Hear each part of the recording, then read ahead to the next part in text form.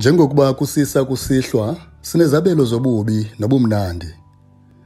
Ukuba kukahlelwa yimeko, amachulo okuthetha athi keep on living.